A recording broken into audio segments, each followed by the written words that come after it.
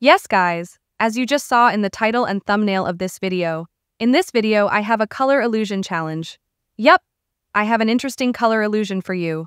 But this is not a normal color. This color can be seen in two different ways. When I show that color, many people will see yellow, while others will see lime. So let's see what color you see. Are you ready?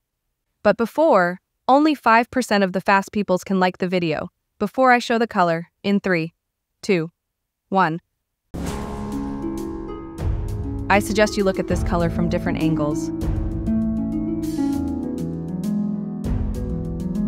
Only legends can see more than two colors. So what color did you see? Tell me in the comments.